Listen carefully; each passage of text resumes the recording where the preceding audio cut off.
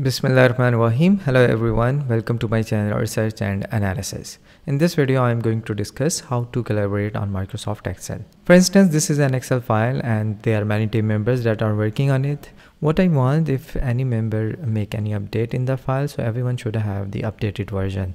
For this purpose, you need to copy the original Excel file. So this is the file I will copy and then I will open my OneDrive account and in OneDrive account I have created a folder named as research and analysis and I will paste that document over here.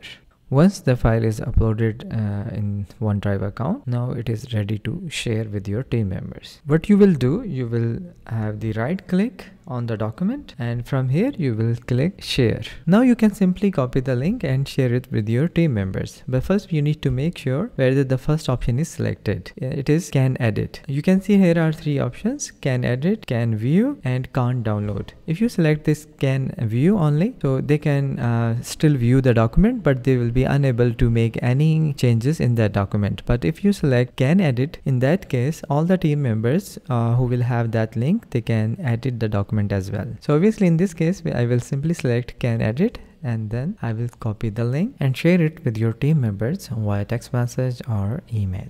By the way, if you do not have a OneDrive account, you can still uh, do the same process by using Google Drive as well. I hope this video will be helpful. Thanks for watching.